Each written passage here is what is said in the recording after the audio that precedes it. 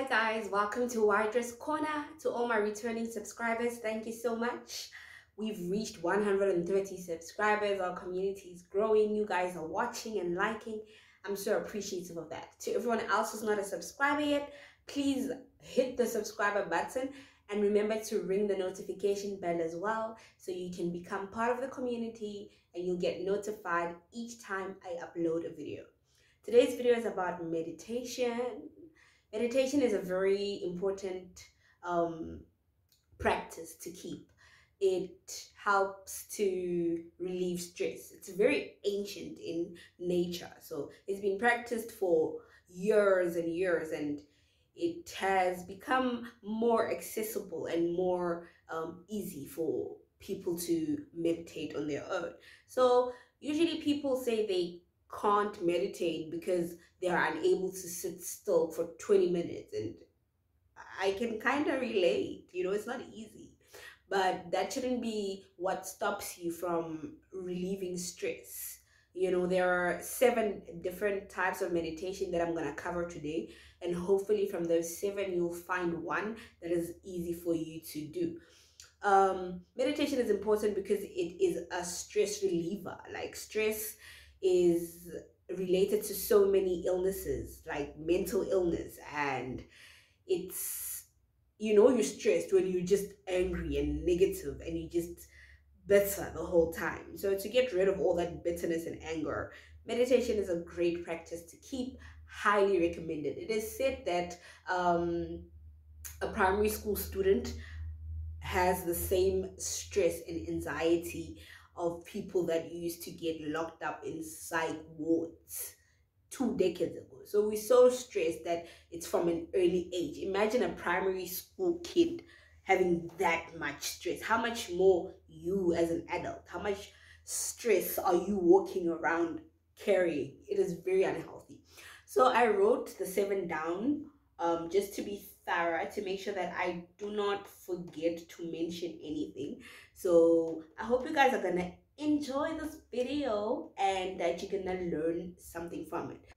So the seven types of meditation. Um, the first one, mindfulness meditation. This is the most popular type of meditation. This is the Buddhist way of meditating. So it's when you sit in lotus position and you um, observe your thoughts but you do not let them consume you. So you just watch your thoughts as they go by. You do not get in and get sucked into those thoughts.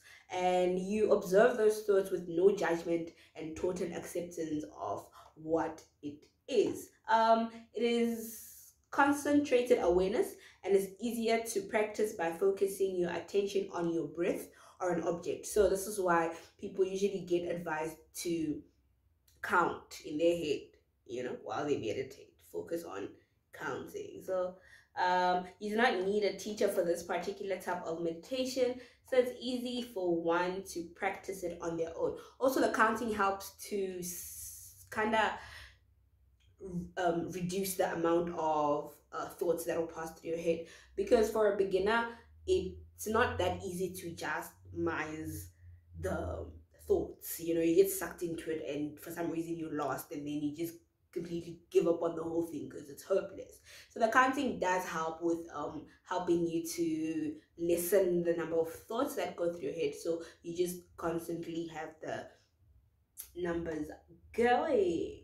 Our second type of meditation is spiritual meditation. This one is used in many Eastern religions. This is your Christianity, um, your Hinduism. So it's similar to prayer um, because it is you reflecting and seeking a deeper connection with God. Essential oils can be used to heighten the experience.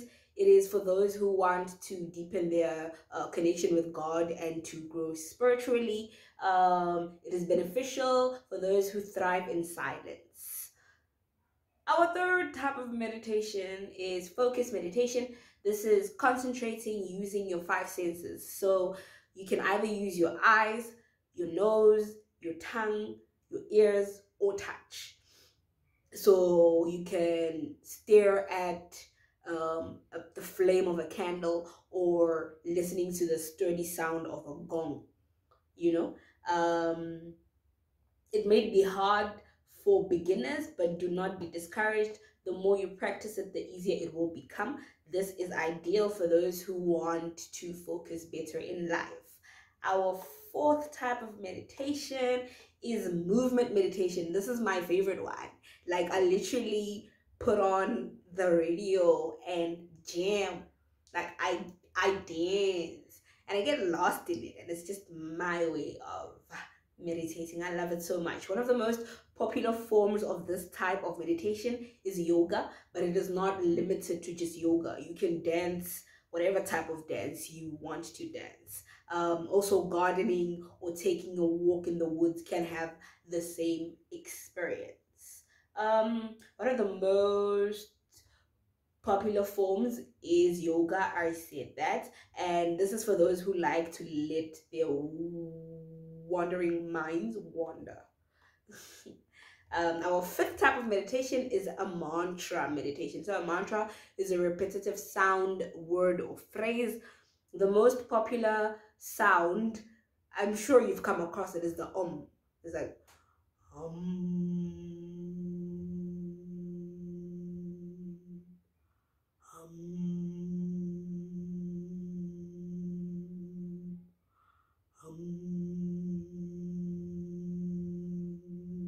I look so funny doing this. but yes, that one. I know you know what I'm talking about. Uh, this one is popular amongst those who practice Buddhism or Hinduism. Um, it can be done out loud or internally. It helps one to be in tune with the environment by improving their awareness. It is beneficial for those who like repetition and not so much silence. Our sixth type of meditation is called progressive relaxation. This is the tightening and loosening of your muscles, uh, muscle groups. So you start from the bottom all the way up. Uh, you can also envision uh, an energy uh, coursing through your body. And with each movement of that energy, tension is being released from your body. Um, for those who want to unwind before bedtime, and our last and seventh type of meditation is loving kindness meditation. This helps strengthen feeling of kindness, compassion, and acceptance towards oneself and others. It can be practiced by opening yourself up to receiving love and kindness for others while you send positive thoughts to your friends, your pals, your associates, and everything else that is on earth. Um, this one is ideal for people that are holding in anger and resentment. So if you are resentful, angry, or unforgiving, any form forms of bitterness, just send positive, loving, kinding, affirming words their way. So if you think of them instead of cussing them out, love them instead and that's exactly what you will get in return so i said this earlier but i'm going to say it again because i think it's important. To get started meditate for five to ten minutes daily um, and then increase the time from 15 to 20 minutes um, during the course of weeks. So there's a saying that if you cannot meditate for 20 minutes a day meditate for an hour. I hope it makes sense to somebody. I mean, I know it does make sense to somebody. And to those who it doesn't make sense to yet, if you do start practicing meditation, you will understand exactly what they are saying.